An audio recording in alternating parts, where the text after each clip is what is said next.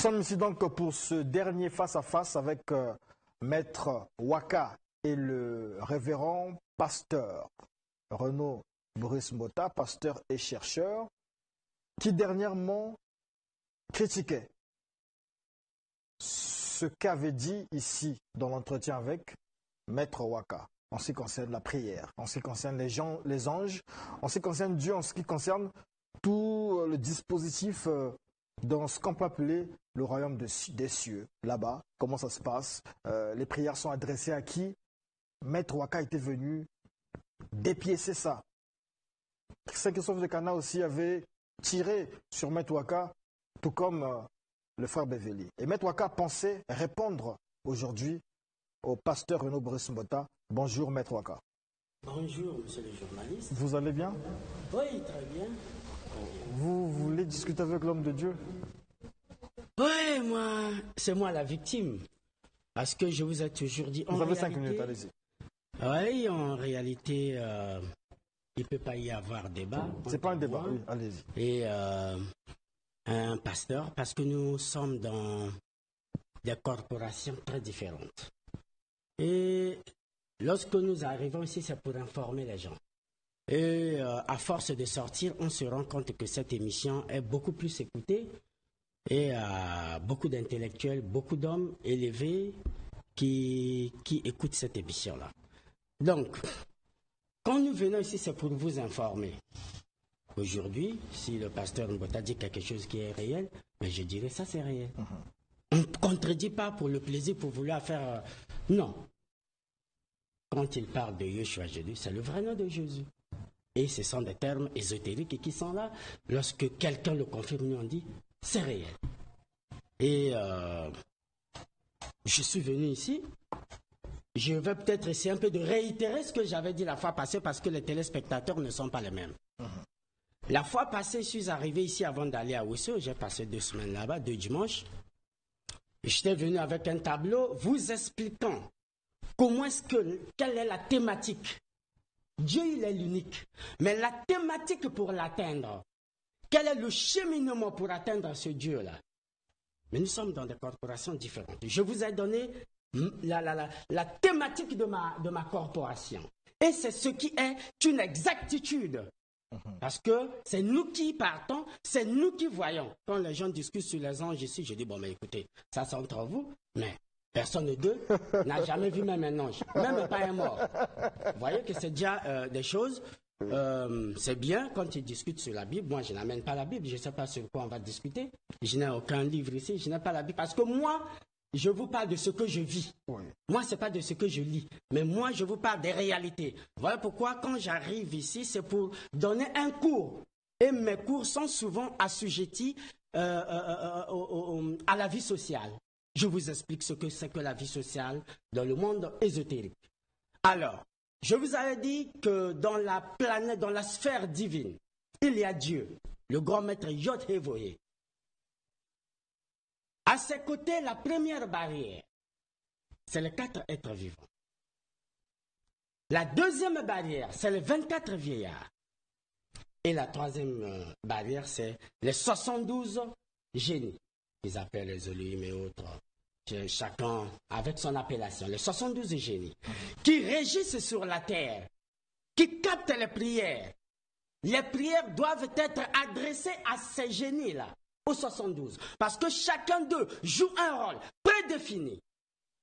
Et lorsque nous, dans les sciences ésotériques, nous adressons nos prières, nous savons, nous avons ce que nous appelons le calendrier planétaire lunaire, et les anges, je vous avais dit que chaque quatre heures du temps, ils font la rotation. Ils se, ils se, ils se relèvent. Ils, font, ils montent une fraction. Et à 6 heures, les anges que je pouvais invoquer à 6 heures ne sont pas les mêmes anges que j'invoquerai à 10 heures. C'est comme ça que fonctionnent les sciences ésotériques. Voilà pourquoi quand nous adressons, nous avons la promptitude du résultat. Je m'arrête par là d'abord. D'accord. Et le pasteur va donc me contredire pour euh, faire la beauté de l'émission. Dites-nous, le, maître Waka a redéfini les choses, mais apparemment il a raison. Non, il n'a pas raison.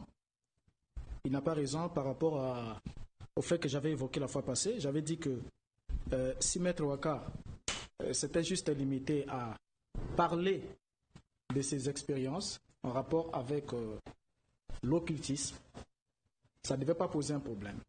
Mais j'avais réagi parce qu'il avait parlé de la Bible et cela avait bousculé aussi certainement les foi qui étaient un peu plus faibles, puisque dans ses déclarations qui étaient très fortes, il a dit euh, Dieu ne répond pas aux prières. Depuis qu'il a fini de créer, il se repose, donc il ne s'occupe pas des prières.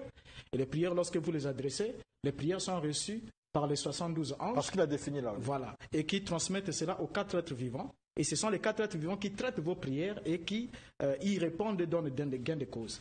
J'avais dit, ça ne répond pas par rapport à l'enseignement de la Bible. Parce que la description du trône tel qu'il vient de le décrire, euh, il commence très bien. Il y a le trône, il y a Yahvé qui est assis sur son trône, il y a les quatre êtres vivants qui entourent le trône, mais il n'y a pas 72 anges. Les 72 anges sont un enseignement de la Kabbale juive, qui est une science ésotérique, et qui n'a rien à voir avec la Bible. Alors, donc, je suis là pour m'opposer au fait que on puisse adresser des prières aux anges. Cet enseignement-là n'est pas conforme à la Bible. Il, a dit, il avait dit qu'il y avait des anges, des prières spécifiques pour chaque ange.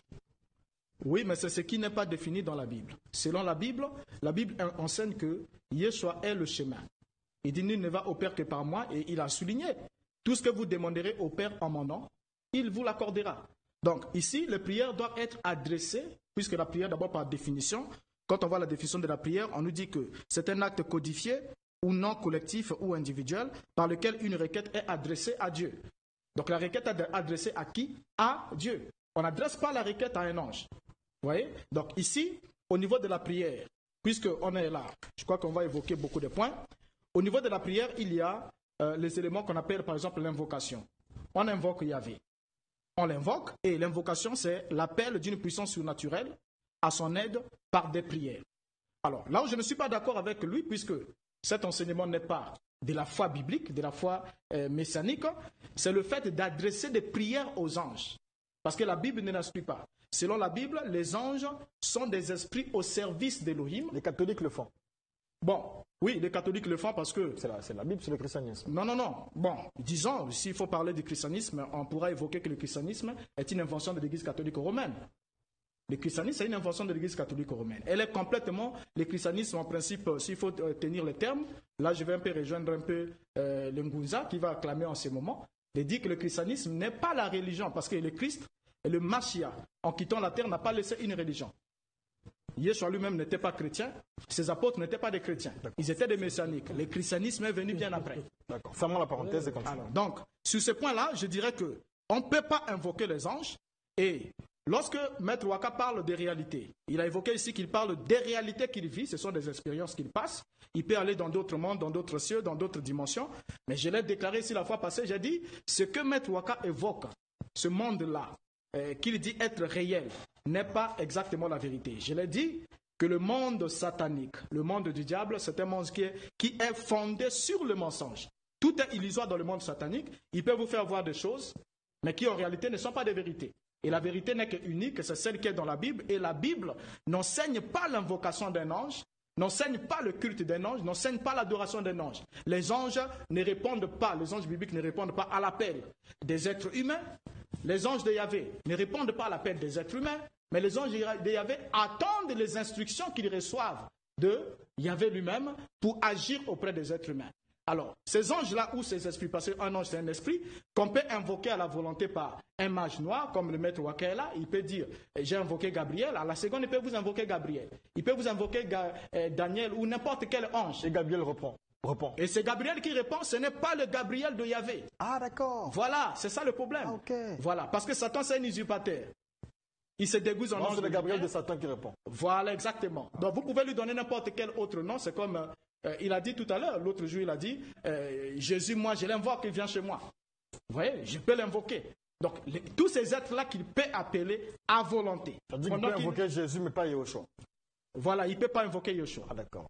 Yeshua est unique en son genre. Donc, sur ce point-là, je ne suis pas d'accord avec lui pour montrer que la prière doit être adressée uniquement à un seul, à Yahvé lui-même et jamais à un ange. Vous avez écouté le pasteur Mbota Oui, je l'ai écouté, c'est très bien. Vous savez que ça me fait un peu du plaisir de rencontrer des pasteurs qui, qui s'allient à nous. parce que c'était, c'était fondamentalement, euh, euh, euh, c'était rare de trouver un pasteur qui parle de ces termes. Et au départ, c'était nos termes à nous. Aujourd'hui, j'ai compris que mon message fait vraiment écho. Et les gens, quand ils me rejoignent pour dire toute la Bible, tout ça là, et à refaire, je dis, c'est réel parce que nous avons... Bon, je le réponds d'abord en disant ceci. Il faut, lui, il me parle de la thématique de la Bible. Mais moi, je ne suis pas chrétien. Je ne suis pas chrétien. Et quand il me dit que tout ira, euh, il y a un verset de la Bible qui a dit? Que c'est au nom de Jésus, hein, du grand maître Yeshua Amashia, que les gens iront au ciel. Je dis, mais c'est faux. C'est faux. Parce que Dieu n'a pas qu'un seul peuple. D'abord, Jésus.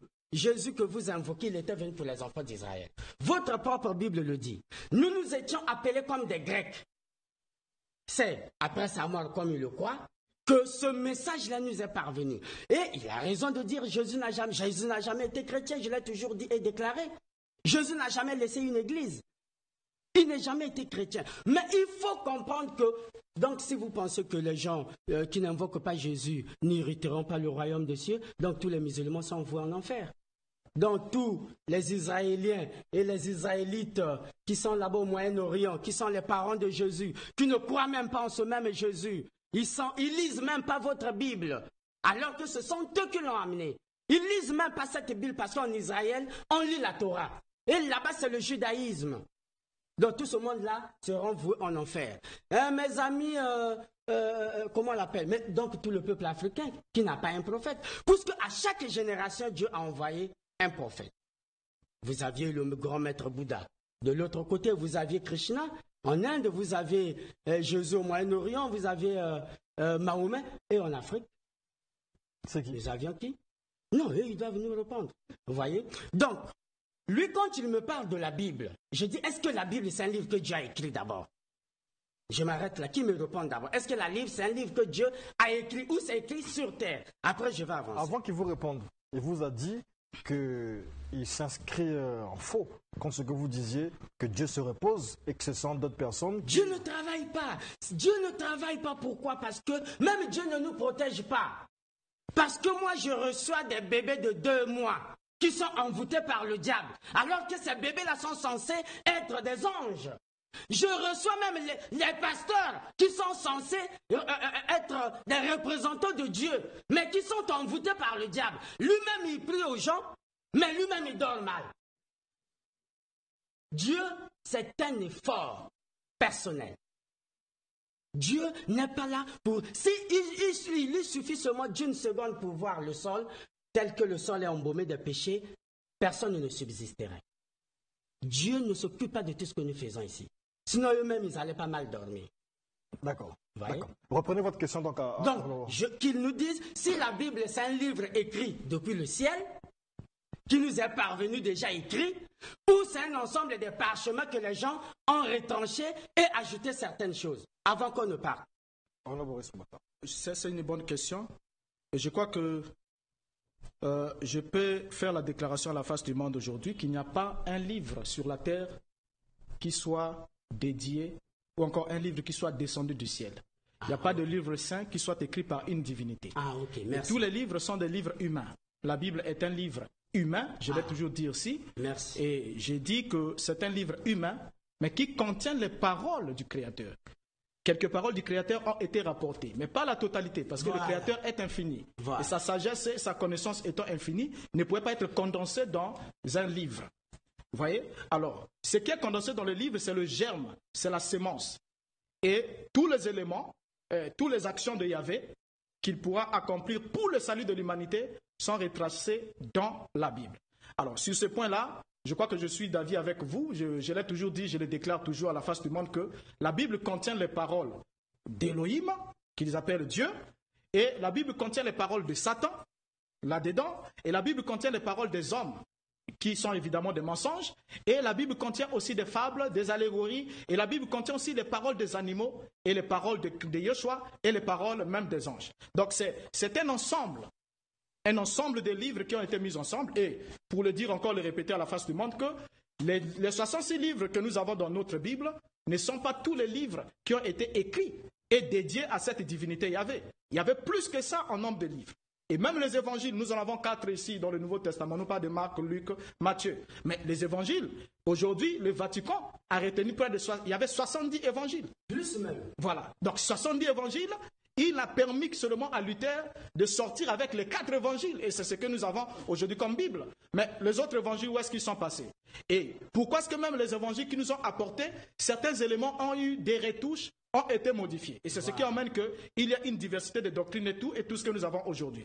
Mais là où je ne suis pas d'accord avec vous, l'élément de fait, c'est que il y avait, ayant une connaissance infinie, savait bien que les hommes devaient tripoter avec sa parole. Il a dit, je vous enverrai l'Esprit. Et quand l'Esprit viendra, c'est lui qui vous enseignera toutes choses. Et je suis David d'accord avec vous qu'il y a des pasteurs eh, qui viennent vous consulter parce qu'ils dorment mal chez eux, ils sont envoûtés. Et ça, j'aimerais encore dire, il n'y a pas que des pasteurs qui viennent vous consulter pour euh, leurs problèmes personnels. Mais il y a des pasteurs qui traitent avec vous, même pour les problèmes des églises. Il y en a même là en RDC qui, qui font beaucoup de bruit là à la télé. Tout ça là, même ici. Certaines dames des réunions, tout ça là. Qui viennent voir. Euh, euh, oui, oui, oui, qui sont alimentés par Maître Waka, et ceux qui sont de l'air et sort. Comme on dit en les d'Abango. Voilà. Vous allez trouver par exemple aujourd'hui des miracles que la Bible appelle les miracles mensongers. Un miracle mensonger, c'est un miracle qui ne peut pas être soutenu par les textes saints, les textes sacrés. On vous sort des cafards dans le corps. On vous sort des serpents, on vous sort des margouillas. C'est des gens comme Maître Waka. On vous sort des morceaux de viande. Ça sont des petits numéros que les maîtres Waka font pour aider ces gens. ça, je le dis. Et s'ils peuvent. Non, s'ils disent le contraire, je le dis ici, je le dévoile. S'ils disent le contraire, quand nous amène un pasteur qui fait ces pratiques-là, ils sont là en RDC, nous suivent. Ceux qui ont déjà sorti le serpent dans les gens, ils se tiennent ici devant moi, comme nous sommes dans le face-à-face, et je lui démontrerai l'origine de son pouvoir. Vous voyez? Alors, ce sont des principes occultes. Il y a des principes de télékinésie déplacement d'objets par distance. Je crois que j'en ai vécu certaines expériences où je vois quelque part, c'est un monsieur qui vient dire non, je suis prophète, il vient avec sa petite gris-gris, il dit bon voilà, euh, je viens là, je vais déterrer le fétiche ici et des choses ainsi de suite.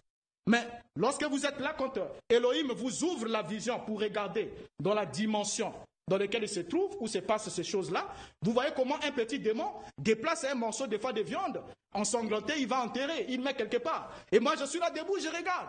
Je, peux dire à quelqu'un, j'ai dit une fois à un frère, j'ai dit, tu sais là, on va trouver ces fétiches-là. Il dit non, j'ai dit, derrière le bananier qui sont derrière la maison. Là. Et finalement, le type a fait ses petits gris-gris, ses zigzags, il a dansé, dansé. Les gens sont là, eh, eh, il sort les fétiches. Après, il tourne derrière la maison, il sort comme ça. C'est un morceau de viande ensanglanté. Mais d'où vient ces morceaux de viande? C'est pas de la chair humaine. C'est des trucs que le monsieur fabrique chez lui. Il rentre dans son temple, dans son hôtel. Maître Wakala, si je dis le contraire, il va me contredire. Il rentre dans son temple, il dépose les morceaux de sang ensanglanté il invoque et puis il déplace cela. Ça rentre dans une dimension éthérique et l'objet est déplacé sans être visible. Et c'est comme ça qu'on vient tromper les gens. Vous voyez? Et du coup, on vous sort par exemple un serpent, mais ce serpent qu'on vous a sorti ne sort pas de vous. Vous avez un problème. On a entendu un témoignage, il y a un monsieur qui nous a fait des petits scénarios là. Non, on a sorti un chien. Fait. Sortir un chien, un chien qui sort d'une personne, c'est une bêtise absolue. Vous voyez, ce chien-là ne vient pas de vous. spirituel, hein, il faut expliquer, c'était un chien spirituel. Non, non, non, non. Elle a boyé comme le chien, mais le chien était en elle. Oui, mais écoutez, le chien ne peut pas sortir de vous. Le chien ne peut pas vivre dans un être humain. Les démons n'ont pas de corps des animaux. Les démons sont des esprits. Vous voyez? Alors, quand on parle d'un chien qui a été retiré de vous, ce chien ne vient pas de vous. Le problème, c'est lequel? C'est que les occultistes et tous ces pasteurs-là comprennent, ils connaissent la loi. La plus grande loi qui régit l'univers, c'est la loi de la foi. C'est-à-dire, il vous sera toujours fait selon votre foi. Quand vous croyez, vous obtenez. D'accord. Réaction? Oui, nous, nous débattons. Hmm. Moi, je suis occultiste. Hmm. Et quand j'arrive ici, je dis, moi, c'est Maître Waka. Je ne viens jamais parler au nom de la Bible ni au nom de Dieu. Et quand je vous parle, je vous parle des faits réels et concrets ce que je vis, comment ça se passe. Si aujourd'hui il y a des pasteurs qui ont la vision, mais c'est très bien. Mais nous sommes ici sur la thématique de la prière. Comment atteindre ce Dieu-là Nous avons tous le même Dieu. Vous les chrétiens et nous les, les occultistes. Mais nous, nous atteignons ce Dieu-là à notre manière. Nous avons notre manière à nous, notre cheminement, notre échelonnement. Parenthèse, parenthèse Maître Waka, il a dit ici que lorsque vous parliez, par exemple, dernièrement, de la prière adressée à, Maître à, Saint Gabriel, à, Saint, Michel, etc., ces gens-là répondent, mais il ne s'agit pas de ces gens, de, de ces anges-là, il s'agit des démons qui viennent. Mais moi, je le réponds qu'en réalité, il n'y a pas de démon. D'abord, le mot démon, c'est un protecteur. Il n'y a pas de démon. Un esprit n'est ni positif ni négatif. Mais l'esprit dépend du- de son utilisateur. Esprit diabolique. Il n'y a pas d'esprit diabolique, il n'y a pas d'esprit, euh, euh, je ne sais pas, esprit euh, de Dieu, non. Les mêmes anges que j'utilise. Je peux aujourd'hui, quelqu'un peut venir me voir. Il dit, je suis menacé. Il dit, maître, je suis menacé, on m'a bouffé un enfant. Fin choc au retour. Mais j'utiliserai qui? Ce qu'ils appellent Michel. Vous voyez? C'est Michel. Mais il a son vrai nom initiatique. Quand je C'est l'envoie. son vrai nom initiatique. Non, c'est pas dévoilé ici. Ça, c'est pas dévoilé ici. Ça, D'accord, c'est avec- réservé pour, euh, ça, c'est réservé pour, euh, pour, pour mes enfants là-bas.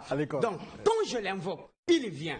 J'ai dit, voilà, il y a telle personne, va me faire casser la gueule là-bas. Quand il va, il crée des effets, il devient qui? Un démon dans cette famille-là.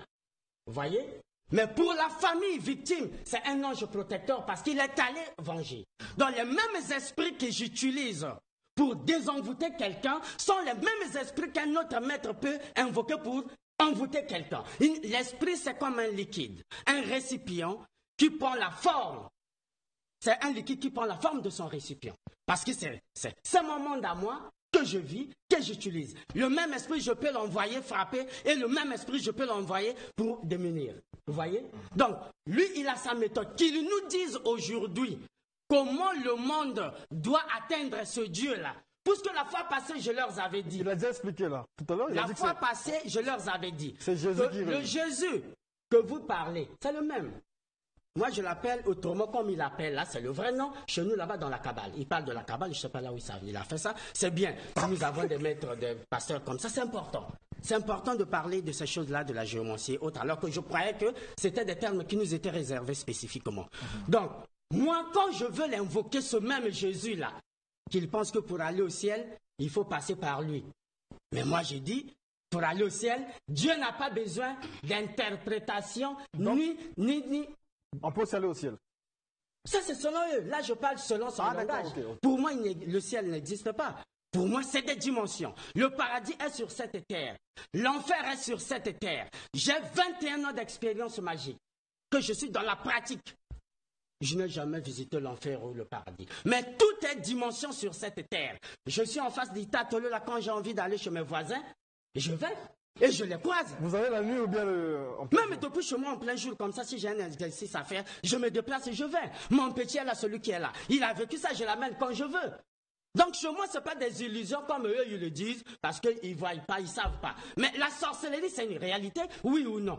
La magie, c'est une réalité, oui ou non? Mais si c'est une réalité, c'est qu'il y a ceux-là qui connaissent ce monde-là. Mais nous autres, En fait, vous êtes au-dessus de, de ces pasteurs-là. Des, je ne suis pas au-dessus. Non, en fait, je ne parle pas de, de vous particulièrement, mais je dis ceux qui ont, ont la science comme vous, ceux qui font cette, cette espèce de section dans la magie et tout ça, est-ce qu'ils sont supérieurs à ceux qui sont, vous avez dit, dans l'illusion, les pasteurs, etc. Le... Si je peux parler comme eux disent euh, les chrétiens, hein, leur Bible, le grand maître Yeshua disait que ceux qui devront m'adorer doivent m'adorer au dernier jour en esprit et en vérité. Mais l'esprit, c'est quoi? Mais c'est derrière, c'est l'âme dont il parlait là. Parce que le sorcier n'envoûte que l'âme. C'est l'âme qui sort. Le sorcier n'envoûte jamais la chair. Donc lorsqu'on prie, on doit prier dans l'âme. Et la vérité, c'est la découverte. Lorsque vous ne découvrez pas comment pouvez-vous faire quelque chose Ils ont la révélation de Dieu qui parle. La révélation est onérique, mais il faut voir, il faut vivre, il faut faire. Parce qu'une foi sans œuvre est une foi morte, comme eux-mêmes ils le disent dans leur propre Bible. Avant que le pasteur Mbota ne réagisse, euh, il a dit quelque chose ici, que il, y a des, euh, il, m'a don- il a même donné des noms. Bon, je ne vais pas les citer, s'il faudrait que lui-même les cite, des noms des pasteurs, des dames de la RDC qui viennent, qui Non, travaillent moi, en, non, non, non, pas en chez connivence, en connivence avec vous. Non, non, non, pas chez moi. Pas vous chez mettez- moi. vous Je- donnez des cafards et puis voilà. Non, non, non, non, non, non, non, non, pas chez moi. Pas chez moi. Mais Mbota, vous avez eu ça où Ça, je ne sais ne pas le fait si. pas, demande-lui s'il ne le fait pas. Mais- Je suis maître, l'honneur j'ai mon en tant temple, que je maître. reçois à tout le monde. Voilà. Vous Vous alimentez les, les Et pasteurs. il a l'obligation. Qu'on les alimente ou pas, le débat ici n'est pas là-bas pour venir parler des gens. Ça, c'est mon domaine à moi. J'alimente les hommes politiques, j'alimente les bons, les mauvais, j'alimente tout le monde. Je suis jamais venu ici pour dire je suis un pasteur. Non. Moi, c'est mon domaine, c'est mon monde. Et je suis là dans ce monde-là. Mais je ne fais pas le mal à n'importe qui. Voilà. Moi, si je suis dans ces médias, c'est parce que j'ai amené également un message. Comme lui, les révolutionnaires de la Bible. Moi également, je suis du côté occulte. C'est moi qui rend et qui est en train, qui suis en train de rendre la magie accessible aux gens. Pour dire cette magie qui utilisait le sang là, aujourd'hui ne doit plus être en pratique. Parce que quand il parlait de la mère divine, mais c'est important mon ami, je te félicite. Déjà quand tu parles de la mère divine, tu rentres dans, dans, dans, dans les, les, les égrégores ésotériques. Ah. Donc, euh, oui, ça c'est, ça c'est, ça c'est les dieux antiques. Mais nous parlons d'aujourd'hui là. D'aujourd'hui. Isis, c'était, oui. Mais aujourd'hui, tout a changé, tout a évolué. Au fur et à mesure que la société évolue, les sciences évoluent. Prenons le cas de la Bible. Il a lu, c'est bon, là, c'est 66 épîtres. Parce que la Bible que j'ai, c'est pas la Bible qu'ils lisent. J'ai la Bible originelle. Là où il y a l'épître de Marie. Là où il y a les- les- les- les- les- la, Bible de, de, de, C'est quoi le nom là, de cette Bible? J'ai dit, c'est ma Bible à moi. on- Mais on peut Ma Bible à moi n'est pas. Déjà, dans leur version de Bible, ils en ont combien? Ils ont lu Second qui a 66 épîtres. Ils ont la Bible Toble qui a 72 épîtres, avec la partie d'hétérocanonique. Ils ont la Bible de Patterson. Ils ont la Bible de Jérusalem. Là où il y a l'épître à Marie et autres. Vous voyez? Donc, la Bible, quand il dit euh, ça, ça, ça, ça évolue, oui. Ça évolue parce qu'il y a plusieurs versions. Entre eux, les chrétiens. Parce que ne peut venir me contredire aujourd'hui que celui qui a fait les sciences ésotériques. Là, nous rentrons dans le débat ésotérique. Bon, un pasteur venir me contredire, c'est utopique. C'est un pasteur pas comme les autres, hein, vous l'avez dit ici. C'est un pasteur pas comme les autres. Oui, mais à moins qu'ils me disent que c'est un ésotériste caché, là, je rentre dans les termes. Euh, pasteur Bota, répondez à la Hein? question. Là, je rentre dans les Quelle termes. question? Vous avez fait quand même un peu d'ésotérisme, un peu de cabale? Non, non, non, pas du tout, pas du tout. Ah, je, suis, je suis un serviteur d'Elohim. Et je rejoins le seul point, le seul point que je rejoins, c'est de faire comprendre que, comme dit la Bible dans Job chapitre 21, le verset 22, parce que je parle en accord avec la Bible, et c'est Elohim qu'on donnera de la science à lui qui gouverne les esprits célestes? Donc c'est Elohim qui gouverne tous les esprits. Donc quand il parle des esprits, qu'il n'y ait pas d'esprit qui soit bon, euh, ou de, de démons, ou d'esprits qui soient mauvais, ainsi de suite. Mais au-dessus de tout, Yahvé Elohim est le maître de tous les esprits. Et quand même euh, on enseigne dans l'église, on dit voilà, euh, Dieu est l'adversaire de Satan, Satan est l'adversaire de Dieu. Ça, c'est un mensonge qu'on enseigne aux Alors, en un mot, euh, Maître Waka a donné sa vision, sa façon de voir les choses euh, en ce qui concerne la prière. En un mot. Qu'il me contredise et qu'il montre aux gens comment prier Dieu. Simplement. Lui, avant de dormir, Comment prier? moi, je En vais dire mot, comment, je prier? prie. Il vous écoute. Et, il, il- il va vous répondre. Alors, comment prier? Yoshua explique, il dit que lorsque vous voulez prier, entrez dans votre chambre. Et la chambre ici, ce n'est pas euh, les quatre murs de la maison. C'est le secret, le tréfonds de votre âme. Et en plus, dans la prière, il y a des éléments qui sont exigés. Il y a d'abord la posture. Il y a une posture pour prier. Et il y a la manière de prier, à qui adresser cette prière.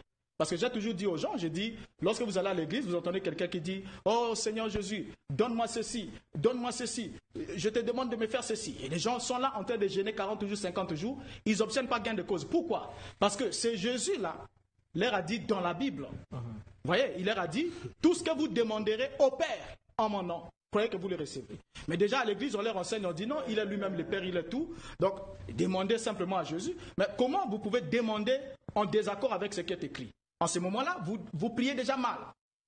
Vous êtes déjà dans une mauvaise posture. Et encore un élément de fait qui fait que la prière soit exaucée, Elohim, quel que soit là où vous êtes, aime la sainteté. Il aime que vous ne soyez pas dans l'iniquité. Et la Bible dit qu'il n'exauce pas les pécheurs. Parce que dans la prière, il y a des éléments. Vous pouvez adresser une prière, qu'elle soit agréée, c'est d'abord une chose. Il faut d'abord que la prière soit agréée, et ensuite qu'elle soit exaucée. Mais les maîtres ne prennent pas ça en compte, pourtant ils sont exaucés. exaucés. Bon, Yahvé Elohim est au-dessus de tout. Tout ce que vous pouvez lui demander avec foi, il accordera. Mais ici, la question, avec la foi que nous avons, la foi messianique, c'est que le salut a été conditionné par une voie précise. Et comme il ne croit pas au fait d'être sauvé, ça c'est notre élément de fait. Mais le salut est conditionné à la foi à Yeshua Amashia. Et il a dit, tout ce que vous demanderez au Père en mon nom, il le fera. D'accord. Merci, Pasteur Bota. Euh, une dernière question. Est-ce que la Bible est un livre sacré? Non, non, non, la Bible n'est pas un livre sacré. Ah, bien, merci. Merci beaucoup. Bon, quand on dit la Sainte Bible, déjà, j'avais même lancé, je crois, un débat euh, sur Facebook. J'ai mis la couverture, la page de la Bible. Il est écrit la Sainte Bible. J'ai posé la question de savoir si cette phrase qui se trouve sur la couverture est la vérité. Donc Ça la Bible n'est pas un livre sacré. Non, non, non, c'est pas un livre sacré. Vous rejoignez Maître Waka sur beaucoup de points. Mais finalement. le livre sacré, il n'y a, il y a pas de livre sacré. Même le Coran n'est pas un livre sacré. C'est des livres qui sont écrits par des hommes qui ont attribué ces paroles aux divinités. D'accord. Sur la terre, Il n'y a pas un livre qui soit descendu du Nous sommes à la fin de l'émission, oui, voilà, merci. chaque, à chaque euh, époque ou dans chaque euh, coin de la terre, Dieu a envoyé des messagers avec euh, ces paroles-là qui ont été modifiées sur cette terre. Je vois même pas où est la contradiction entre moi et le Non, il n'y a pas de contradiction, mais en fait, Mais juste la manière de prier qu'on n'arrive pas à s'accorder. Et quand il dit que selon la Bible, moi je vais d'abord lui, lui- lui- je vais d'abord dire que nous, la Bible c'est un ensemble de coutumes juives. Le Coran c'est un ensemble de coutumes arabes. La Tanganijita, la Torah, le et, le- et autres, ce sont des ensembles de coutumes de ce pays, de ces gens-là. Voilà pourquoi il ne faut pas croire en la Bible telle qu'elle a été écrite. Mais il faut la lire entre les internies parce que c'est là où il y a les formules. J'avance. Quand il dit, la Bible nous est parvenue ici. J'étais à Ouesseux, là, j'ai posé la question à un, à un pygmée, à un peuple autochtone. Je lui ai dit, Monsieur, euh, connaissez-vous Dieu? Et Jésus Il dit, Jésus? Jésus Jésus, c'est quoi? J'ai dit, oh, vous ne connaissez pas Jésus? Il dit, je ne connais pas. J'ai dit, mais tu connais Dieu? Il dit, je connais Dieu. Je connais Dieu et la nature. Donc Jésus, c'est comme il je le suivais avant de venir ici, c'est une invention. Comme ils ont dit, c'est une invention. Cette invention-là, c'était une invention commerciale, liée au commerce et à la colonisation de l'homme noir. Nous ne croyons pas en Dieu parce que la Bible nous est parvenue. Nos ancêtres, si aujourd'hui le pasteur Mbota va nous dire, il dit la Bible au nom de Jésus, c'est là où on va juger le monde, oui. Mais si le monde sera jugé par Jésus et grâce à la Bible, mon vieux père qui est mort en 1700, tu ne connaissais pas Jésus, Dieu va le juger à base de quoi s'il s'il a, si, si, si, si, si, si, a, il y a un lendemain matin comme ils le disent, les gens vont se ressusciter et il y aura un jugement. Je dis c'est faux. Nous ne, nous ne connaissions pas Dieu grâce à la Bible. La Bible, c'est un livre qui nous est parvenu, en fait, pour nous coloniser. Oui, il y a quelques brides, des vérités spirituelles que j'utilise. Merci Donc beaucoup. aujourd'hui, on n'a même pas, il nous a pas encore dit comment prier, comment atteindre ce Dieu-là? Avant qu'on quitte ici, il- doit dire comment prier. Il vous a expliqué. Il vous a dit qu'il faut aller dans, dans sa chambre, il s'est référé à Matthieu. Il a parlé même d'une position, mais les positions, ce, sont nos phases ésotériques. En plus comment? Debout, assis, vais en appeler- dormant, comment? une dame ici. euh,